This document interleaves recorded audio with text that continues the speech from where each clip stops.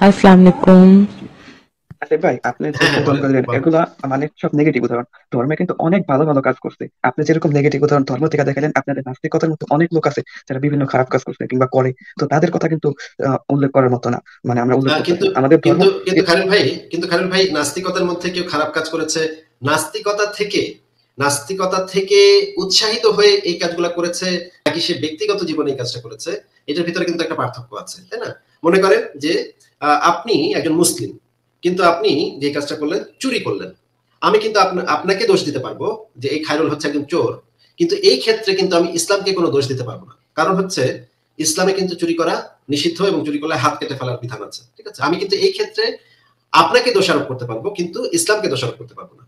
কিন্তু আপনি আবার ধরেন, কাফের হত্যা করতেছেন, কাফেরদেরকে মেরে তাদের মা বোনদেরকে গনিমতের মাল হিসেবে তাদের সাথে তাদেরকে ধর্ষণ করতেছেন বা ধরেন আপনি একটা শিশু মেয়েকে বিয়ে করে তার সাথে ধর্ষণ করেছেন, এই ক্ষেত্রে কিন্তু আমি অবশ্যই আপনার থেকে বেশি দায়ী মনে করব আপনার ধর্মটাকে, কারণ আপনার ধর্মের ভিতরে এমন এলিমেন্ট আছে যে এলিমেন্টগুলা আপনাকে এই কাজটা করতে উৎসাহিত করেছে। দুইটা দুইটা বিষয়, দুইটা ক্রাইমের কথা আমি বলেছি। আপনি চুরি করছেন, এই চুরি করাটা হচ্ছে আপনার ব্যক্তিগত ব্যাপার, এটার সাথে ইসলামের কোনো সম্পর্ক নেই। আরেকটা ব্যাপার হচ্ছে আপনি কাফের মেরে কাফেরদের মা বোনদেরকে তুলে এনে তাদেরকে ধর্ষণ করতেছেন। এটার সাথে কিন্তু অবশ্যই ইসলামের সম্পর্ক আছে, কারণ কোরআন এবং হাদিসে এই বিষয়ে সুস্পষ্ট ভাবে বলে দেওয়া আছে, এটা আপনি করতে পারবেন।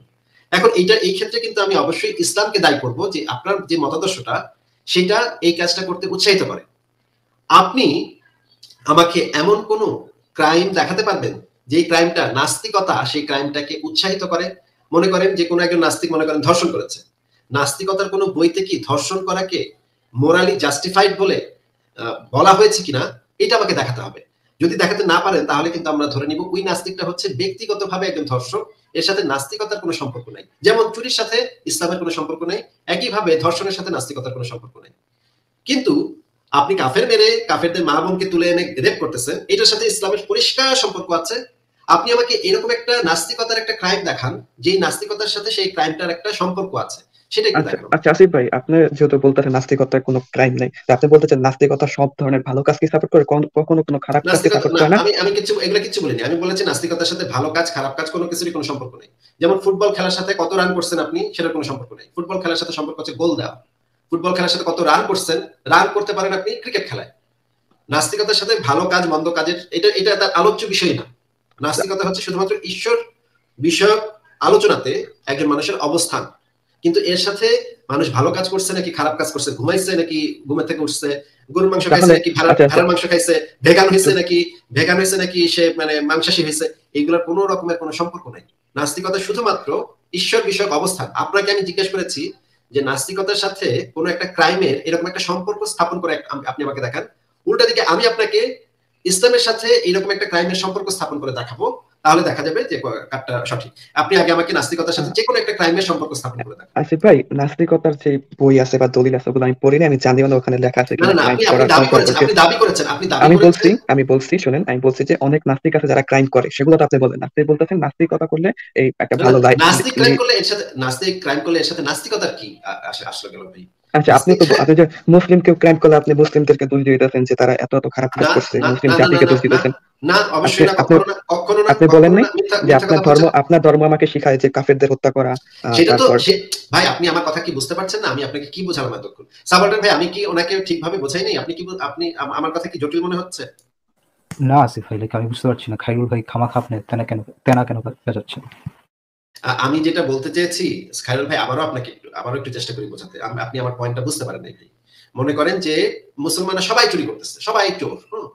আমি কিন্তু এর সাথে এই এই ক্ষেত্রে আমি শুধু এটা বলতে পারব যে মুসলমানদের মধ্যে অনেক, অনেকে আছে চোর। আমি কিন্তু এই ক্ষেত্রে ইসলামকে দোষারোপ করতে পারব না। হ্যাঁ? আমি কিন্তু এটা বলতে পারব না যে ইসলাম মানুষকে চুরি করতে শিক্ষা দেয়। এটা আমি বলতে পারব না। কারণ ইসলামে পরিষ্কারভাবে বলা আছে, চুরি করলে হাত কেটে ফেলতে হবে।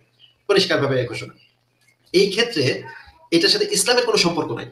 কিন্তু সমস্ত মুসলমানও যদি চোর হয় তারপরে আমি বলতে পারব না যে এটা ইসলামের বিধান। ইসলামের সাথে এর কোনো সম্পর্ক নাই। আমার বলতে হবে ইসলামের সাথে এর কোনো সম্পর্ক নাই। যদিও সমস্ত মুসলমান চুরি করে তারপর আমি এটা বলতে পারব না। আমি শুধুমাত্র এটা বলতে পারব যে সমস্ত মুসলমান চুরি করতেছে। এটা শুধুমাত্র এইখান থেকে বলতে পারব। কিন্তু যদি আমি দেখতাম, কিন্তু যদি ঘটনাটা এরকম ঘটতো যে অনেক মুসলমান শিশু মেয়ে বিয়ে করে, এটা যদি আমি ইনফরমেশন পাই, তখন আমি দেখতে যাব যে আচ্ছা দেখি তো, এই ইসলাম ধর্মটার ধর্মগ্রন্থে এই বিষয়ে নির্দেশনা দেয়া আছে কিনা? যদি নির্দেশনা দেয়া থাকে, তাহলে আমি বুঝতে পারব যে এর সাথে ইসলামের একটা সম্পর্ক আছে। মুসলমানদের এই কাজটার সাথে ইসলামের একটা সম্পর্ক আছে। যদি তখন যখন আমি এই জিনিসটা বুঝতে পারব, যখন আমি এই জিনিসটা প্রমাণ পাবো যে তাদের ধর্মগ্রন্থে এই জিনিসটা বলা আছে এবং মুসলমানরা এটা করতেছে, তখন আমি এটার সাথে একটা যোগাযোগ স্থাপন করতে পারব যে মুসলমানরা এটা করতেছে। এর কারণ কি? কারণ হচ্ছে ইসলাম তাদেরকে এই জিনিসটা করতে শেখাচ্ছে। ঠিক আছে? আমি আপনার কাছে জানতে চেয়েছি যে এইরকম আপনি, মনে করেন সমস্ত নাস্তিক পৃথিবীর সমস্ত নাস্তিক ধর্ষক। তাতেও তো নাস্তিকতার কিছু যায় আসে না।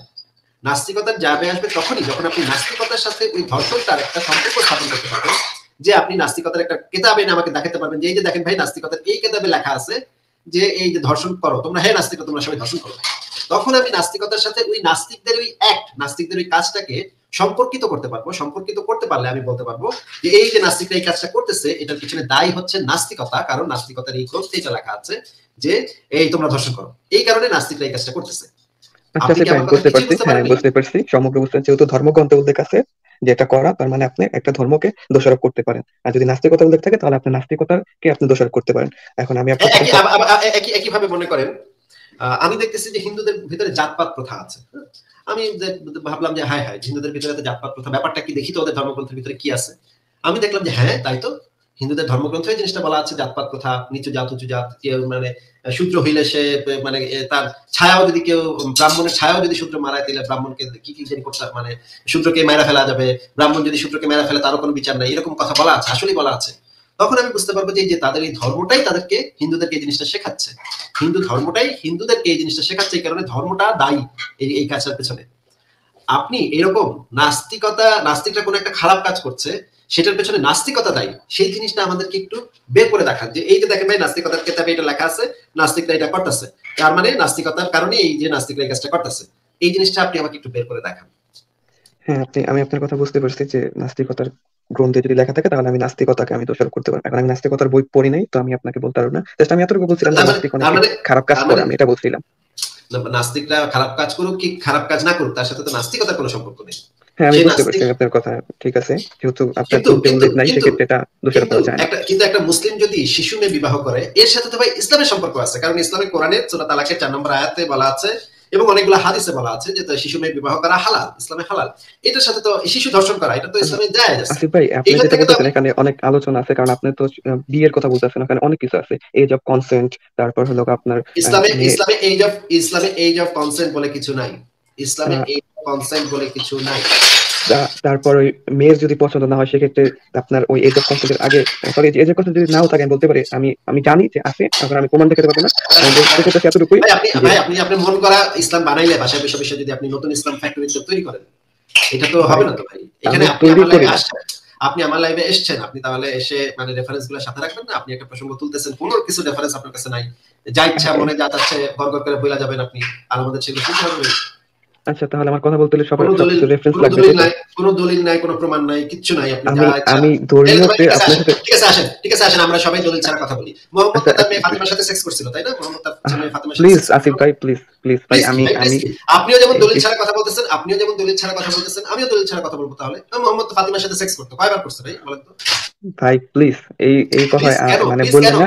তাহলে আপনি যে দলিল ছাড়া কথা বলতেছেন আপনি যে দলিল ছাড়া মন গড়া নিজের মতো করে বানায় বানায় বলতেছেন না না না এটা মনে না। এটা এটা আমি আরেকজন আরেকজন ইসলামিক স্কলার থেকে শুনছি। ইসলামিক স্কলার থেকে শুনছি। দলিল দেখেন কোন ইসলামিক স্কলার বলছে ইসলামে এজ অফ কনসেন্ট আছে কোন গাধার বাচ্চা এই কথা বলছে। একজন ই আছে হাফিজ আছে মেবি তার নাম তানভীর কি তানভীর যেন?